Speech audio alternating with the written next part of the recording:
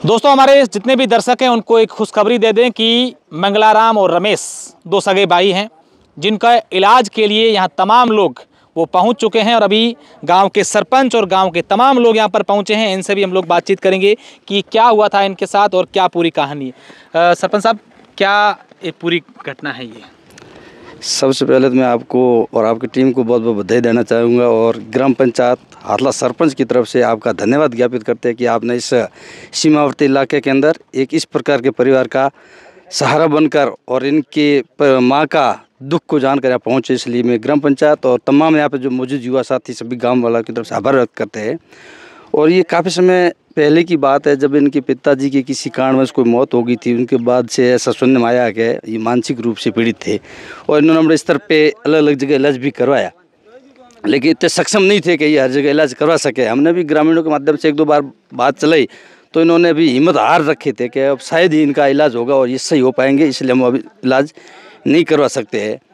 और हमें भरोसा है कि जब आपने इस प्रकार की पहल कर रहे हो तो आप इसकी निगरानी के माध्यम से आपके मार्फत से बड़े से अच्छा ट्रीटमेंट मिलकर एक इनकी माँ और हमारे भाइयों को एक पुनः हम इस पंचायत के अंदर इस युवा साथियों की तरह देखना चाहते हैं।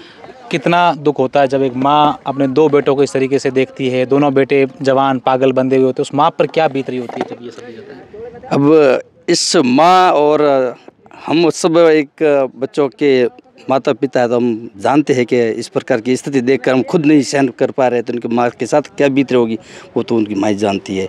और हम खुद जानते हैं कि इस प्रकार का, हम खुद दर्शक देखने की हिम्मत नहीं पड़ रही है। बिल्कुल, आप देखिए, गाँव के सरपंच साहब हैं और ये तमाम लोग हैं, सरपंच प्रतिनिधि। और शायद इस गाँव के ही नहीं, बल्कि जो कोई मेरे साथी दर्शक इस वक्त वीडियो देख रहे हैं, वो यही सोच रहे होंगे कि इनका इलाज हो जाना चाहिए। इस माँ जो लगातार दर्द में इन दोनों बेटों को देख करके शायद उस पर दिल पर कलेजे पर पत्थर रख करके हर समय ये दृश्य देखती हैं उस माँ को ये कम से कम सुकून मिल जाए कि मेरे बेटों का इलाज हो रहा है मेरे बेटे सुरक्षित हैं और मैं आराम से जी पा रही हूँ। गुडे बे से माथे में हाथ पूरा इलाज बे बात चर्च कर रही हूँ।